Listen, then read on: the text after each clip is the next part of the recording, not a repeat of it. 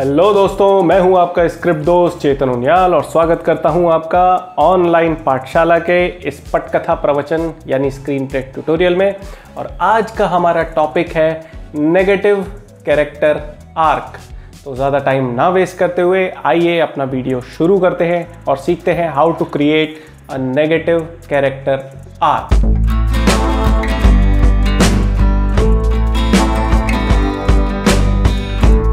Negative character arc को explain करने से पहले मैं आपको ये बता दूँ कि अगर इससे जुड़े पहले वीडियोस आप देखना चाहते हैं हमारी कैरेक्टर आर्क सीरीज़ के तो उसके लिए आप आई बटन पर क्लिक कर सकते हैं या नीचे लिखे डिस्क्रिप्शन बॉक्स में जा सकते हैं, जहाँ पे हमने आपको कैरेक्टर आर्क और पॉजिटिव कैरेक्टर आर्क के बारे में काफ़ी अच्छे से एक्सप्लेन किया हुआ है। अब आते हैं अपने टॉपिक नेगेटिव कैरेक्टर आर्क के बारे में। मैं कुछ फ़िल्मों के एग्जांपल्स के थ्रू आपको एक्सप्लेन करता हूँ कि नेगेटिव कैरेक्टर आर्क होता क्या है। सबसे पहले तो एक डेफिनेशन के तौर पे अगर हम देखें तो नेगेटिव कैरेक्टर आर्क का मतलब ये है कि हमारा कैरेक्टर कहानी के शुरुआत में पॉजिटिव है। पॉजिटिव थॉट्स हैं या वो खुद एक पॉजिटिव इंसान है, लेकिन कहानी ख़त्म होते होते वो एक नेगेटिव इंसान में तब्दील हो जाता है या वो कुछ नेगेटिव वैल्यूज़ को अपना लेता है। अब वो अपनाता क्यों है? उसकी भी अलग अलग वजह होती हैं। कभी वो सोसाइटी से परेशान होता है या कभी उसके साथ सडन कुछ सिचुएशन ऐसी हो जाती है, जिस वजह से उसे वो नेगेटिव वैल्यूज़ अपनानी पड़ती हैं। ये क्या होता है? कैसे होता है? इसको डिटेल में समझाता हूँ। मैं अपने फ़िल्म एग्जाम्पल्स के थ्रू ओके तो हम स्टार्ट करते हैं। सबसे पहला एग्ज़ाम्पल मैं दूँगा नेगेटिव कैरेक्टर आर्क में हमारी फ़िल्म नायक का। जी हाँ नायक। अनिल कपूर की वो फ़िल्म जो एक चैनल की कृपा से हमारे लिए अब कल्ट क्लासिक बन चुकी है, इतनी बार आ चुकी है वो उस चैनल पे कि बच्चे उसे देख देख के बूढ़े हो चुके हैं। तो अगर आप नायक की बात करें, नायक देख के आपको लगेगा कि यार, वो तो कैरेक्टर पॉजिटिव है। अगर उसने किसी को मारा भी तो वो एक गंदा इंसान था, वो एक गलत इंसान था। यहाँ पर मैं कहना चाहूँगा कि पहले हम उस जर्नी को देख लेते हैं, फिर मैं एक्सप्लेन करूँगा कि किस तरीके से ये एक नेगेटिव आर्क का एग्ज़ाम्पल बनती है। तो हमारी कहानी में शुरुआत होती है हमारे नायक से, जो कि एक सीधा साधा प्रेस रिपोर्टर है। और आमतौर पर नॉर्मल लाइफ में भी वो एक अच्छा इंसान है रूल्स के हिसाब से चलने वाला, अपने टैक्स पे करने वाला, सारा रूल रेगुलेशन ट्रैफ़िक वगैरह रूल सब मानने वाला। और ये बंदा एक ईमानदार जर्नलिस्ट है या कहीं मीडिया रिपोर्टर है। अब प्रॉब्लम वहाँ आती है जब ये मीडिया रिपोर्टर एक करप्ट पॉलिटिशियन जो कि एक स्टेट का चीफ मिनिस्टर भी है, उसका इंटरव्यू लेता है, जिसकी सच्चाई वो जानता है और उसकी सच्चाई एक रिकॉर्डिंग के थ्रू जनता के सामने भी लेकर आता है। अब यहाँ पे करप्ट पॉलिटिशियन अपनी कुर्सी बचाने के लिए उस पर ही चैलेंज फेंक देता है और जर्नलिस्ट को ये चैलेंज देता है कि भाई तुम मेरी कुर्सी पर बैठ के देखो कि कितने टेंशन्स झेलनी पड़ती हैं, कितने सारे फैसले लेने पड़ते हैं, तब तुम्हें पता चलेगा। तब तुम ये जो गलत इल्ज़ाम मुझ पर लगा रहे हो, तब तुम्हें पता चलेगा कि इनकी भी अपनी वजह होती। पहले तो हमारा जर्नलिस्ट ये फैसला लेने से बचने की कोशिश करता है, लेकिन जब देखता है कि जनता चाहती है कि वो ये फैसला ले, पॉलिटिशियन का चैलेंज एक्सेप्ट करे तो ये चैलेंज एक्सेप्ट कर लेता है। एक दिन के लिए उसे स्टेट का चीफ मिनिस्टर भी बना दिया जाता है। लेकिन तब वो देखता है कि पूरा का पूरा सिस्टम ही करप्ट है। सिर्फ़ वो ऊपर बैठा चीफ मिनिस्टर पॉलिटिशियन करप्ट नहीं है, उसके नीचे बैठे ब्यूरोक्रेट्स, फिर उनके नीचे बैठे उनके सबॉर्डिनेट्स और बिल्कुल बेसिक लेवल पे नीचे बैठे दलाल वगैरह सब नीचे तक, ऊपर से लेके नीचे तक सब करप्ट हो चुके हैं। जब वो सिस्टम में इतनी करप्शन देखता है, इतनी सारी परेशानियाँ देखता है, कहीं ना कहीं उसका दिमाग अपने बिलीफ्स को छोड़ने लगता है। जो ये समझ रहा था कि हाँ यार, दुनिया अच्छी है, लोग अच्छे हैं, सबको अच्छे तरीके से रहना चाहिए, उसे समझ में आता है कि नहीं, सिस्टम हमारा इस हद तक करप्ट हो चुका है कि ईमानदार इंसान को ईमानदारी से लड़ने के लिए भी मौका नहीं मिलेगा। वो सिस्टम बदलने की कोशिश करता है, चुनाव लड़ता है, चुनाव जीत भी जाता है, और फाइनली वो मुख्यमंत्री बन जाता है।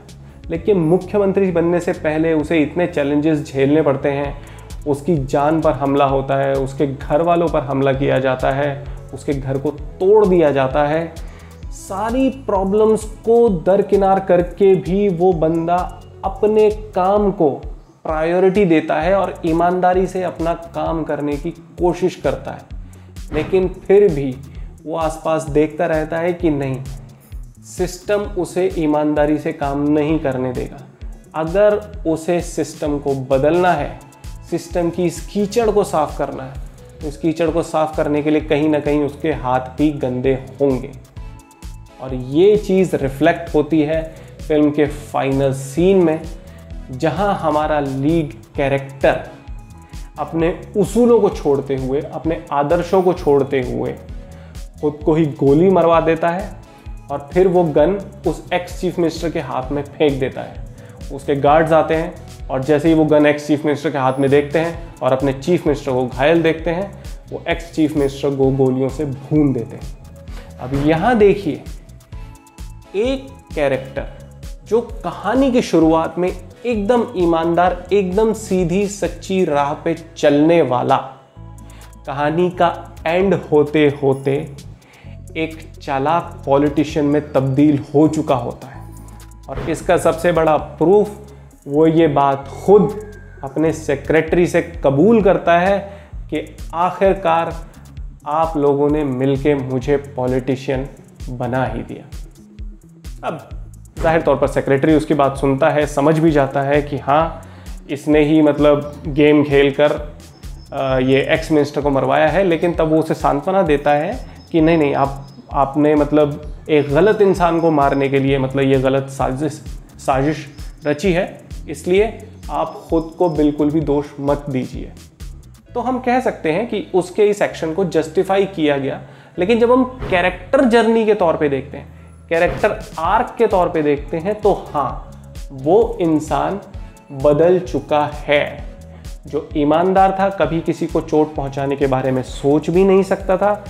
आज वो किसी को मरवाने के लिए एक साजिश भी कर सकता है। इतना वो कैपेबल हो चुका है। तो इसे हम कहते हैं नेगेटिव कैरेक्टर आर्क का एग्ज़ाम्पल और इसको थोड़ा अगर हम और गहराई में देखें तो इसे हम कहेंगे negative character arc because of disillusionment जहाँ आपको सोसाइटी से ही शिकायत हो गई कि नहीं यार, मैं अच्छा इंसान हूँ, लेकिन ये सोसाइटी मुझे अच्छा इंसान रहने ही नहीं देगी इस सोसाइटी में इतना करप्शन है, इस पॉलिटिक्स में इतना करप्शन है कि अगर मुझे इस करप्शन को साफ़ करना है तो कहीं ना कहीं मुझे भी वो पॉलिटिकल गेम प्लेइंग सीखनी पड़ेगी। तो हमारा सीधा सच्चा कैरेक्टर कहानी की पूरी जर्नी के दौरान फाइनली डिसइल्यूजन होकर, इस करप्ट सिस्टम से परेशान होकर फैसला करता है कि मैं अपने बिलीफ सिस्टम को, अपने वैल्यू सिस्टम को बदलूँगा और अब सीधा सच्चा आदमी बनकर इस ख़राब पॉलिटिशियन से टक्कर नहीं लूँगा, बल्कि इसी के लेवल पे जाकर एक चालाक पॉलिटिशियन बनकर ही इस बुराई को जड़ से ख़त्म करूँगा। तो इसीलिए मैंने कहा कि हम नेगेटिव कैरेक्टर आर्क में नायक का एग्ज़ाम्पल लेंगे, जहाँ हमारा कैरेक्टर कहानी की शुरुआत में एक ईमानदार था, लेकिन कहानी के अंत में चेंज होकर एक चालाक पॉलिटिशियन बन चुका। अब इसी एग्ज़ाम्पल को थोड़ा और आगे बढ़ाते हुए, मैं एक और फ़िल्म का एग्ज़ाम्पल देना चाहूँगा, और वो थी हमारे बहुत ही अच्छे एक्टर हैं मनोज वाजपेयी। उनकी एक बहुत ही चर्चित फ़िल्म रही है, शूल। बहुत ज़्यादा लोगों ने नहीं देखी, लेकिन ख़ासकर जो हमारी फ़िल्म लाइन के लोग हैं ख़ास तौर पे जो अच्छी फ़िल्मों को मतलब जानते हैं, समझते हैं, उनके पास ज़रूर, उनको ज़रूर ये एहसास होगा कि शूल कितनी बढ़िया फ़िल्म थी। उस फ़िल्म का एक और मैं एग्जांपल दूँगा इसी नेगेटिव कैरेक्टर आर्क के तौर पर। अगेन अगर आपको शूल याद हो या आपने नहीं भी देखी हो तो मैं एक सीधी साइड लाइन में बता देता हूँ। एक ईमानदार पुलिस इंस्पेक्टर जिसकी पोस्टिंग होती है बिहार में, जो हर तरीके से सही काम करना चाहता है रूल बुक के हिसाब से चलना चाहता है सीधा सीधा अपना काम करना चाहता है। जो सही है सही है, जो गलत है, उसको सज़ा मिले, उसको पकड़ा जाए।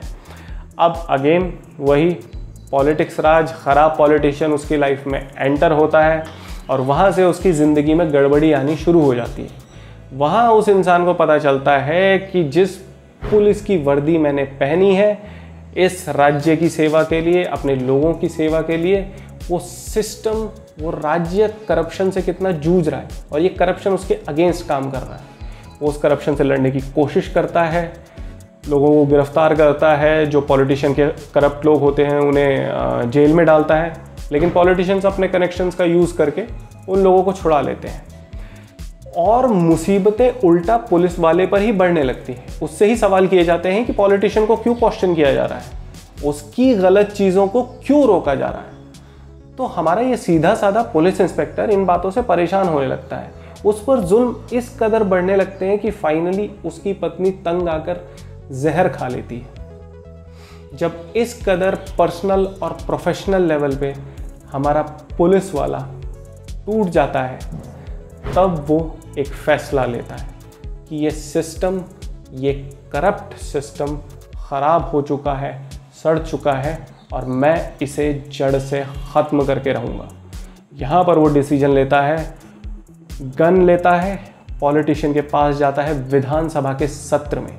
विधानसभा, अगेन हमारे देश की लोकतांत्रिक जो प्रणाली है, उसका एक स्तंभ है, एक चिन्ह है, और वहाँ पर जाकर वो एक भाषण देता है कि किस तरह ये सिस्टम करप्ट बन चुका है, और इसीलिए इस ईमानदार पुलिस ऑफिसर को आज ये फैसला लेना पड़ रहा है कि वो कानून अपने हाथों में लेकर एक गलत चीज़ करने जा रहा है। और ये कहते हुए वो उस करप्ट पॉलिटिशियन को गोली मार देता है। तो अगेन आपने देखा कि यह हमारा एक ईमानदार कैरेक्टर कहानी शुरू होने पर जो रूल के हिसाब से चलने वाला रूल फॉलो करने वाला अपनी ड्यूटी को अच्छी तरह से निभाने वाला था वो कहानी के अंत तक आते आते उन्हीं रूल्स को तोड़ देता है। भले ही वो एक उसे हम जस्टिफिकेशन दे सकते हैं कि आ, उसने सही किया उस करप्ट पॉलिटिशियन को मार दिया लेकिन ध्यान में रखने की बात यह है कि जिन वैल्यूज़ को लेके हमारा कैरेक्टर चला था, कहानी के अंत तक आते आते उसने वो वैल्यूज़ को दरकिनार कर दिया और कुछ नेगेटिव वैल्यू ले ली, जो शायद कहानी की शुरुआत में वो कभी भी एक्सेप्ट नहीं करता। कहानी की शुरुआत में अगर किसी और पुलिस वाले ने ऐसा कदम उठाया होता तो वो उसे सज़ा देने की वकालत करता। हालाँकि ये एंड में भी कहता है कि उसे सज़ा मिलनी चाहिए, लेकिन जब बात आती है कानून को अपने हाथ में लेने की तो उसकी वैल्यूज़ उसकी आइडियोलॉजीज चेंज हो चुकी तो कहानी के शुरुआत में जो उसकी आइडियोलॉजी थी, कहानी के अंत तक आते आते वो चेंज हो चुकी है। तो अगेन ये एक एग्ज़ाम्पल है नेगेटिव कैरेक्टर आर्क का। अब ये जो दो एग्ज़ाम्पल मैंने आपको बताए, सबसे पहला नायक और दूसरा शूल। इसमें जो नेगेटिव आर्क है, वो है negative character arc because of disillusionment जहाँ एक आ, सीधा साधा इंसान इस बात से परेशान हो गया कि यार ये सिस्टम करप्ट है। उस सिस्टम से उसका भरोसा उठ गया और फिर एंड में जाकर उसने फैसला लिया। लेकिन हमेशा नेगेटिव कैरेक्टर आर्क डिसल्यूजनमेंट की वजह से नहीं होता। कभी कभी कुछ सडन सिचुएशन ऐसी हो जाती हैं जिसकी वजह से वो इंसान ये फैसला लेता है। और इसका एक एग्जांपल दूँगा मैं। आपको एक संजय दत्त की बहुत ही हिट फ़िल्म रही हमारे मुन्ना भाई की, वास्तव। वास्तव अगर आपको याद हो तो उसमें संजय दत्त एक सीधा साधा वड़ा पाव बे वड़ा पाव का ठेला लगाने वाला, एक नॉर्मल मेहनत, मजदूरी करके खाने वाला, छोटे से परिवार के साथ खुश रहने वाला आदमी है। अब वो मेहनत, मजदूरी करता है बेचारा, लेकिन उसी दौरान उसकी लड़ाई हो जाती है एक गुंडों के ग्रुप ग्रुप से, जो उस पर फालतू में झूठे झूठे इल्ज़ाम लगाकर उससे लड़ाई करते हैं, उसके साथ मारपीट करते हैं। अब वो पहले बेचारा ईमानदार इंसान किसी तरह माफ़ी उनसे माँगता है अपना ठेला बचाने की कोशिश करता है लेकिन वो गुंडे इस पर भी राज़ी नहीं होते और उसे जान से मारने की कोशिश करते हैं। अब ये देखिए यहाँ पे अगर शायद उसे मौका मिलता तो वो आ, हाथ जोड़कर चीज़ों से निकलने की कोशिश करता और वो कर भी रहा था। लेकिन अब बात आ गई सडन जान पे कि एक सडन मूवमेंट आ गया। अब इसी में आपको फैसला लेना है या तो आर या तो पार। और वो फैसला लेता है अपनी जान बचाने का। और उसकी जान बचाने का सिर्फ़ एक ही तरीका है कि वो सामने वाले को मार दे। अब जब वो सामने वाले को मार देता है, फिर भी उसे लगता है कि मुझसे गलती हो गई। मैं ये मतलब नहीं करना चाहता था। लेकिन अब उन गुंडों के साथी उसे ढूंढ रहे हैं और वो जहाँ भी मिला उसे जान से मार देंगे।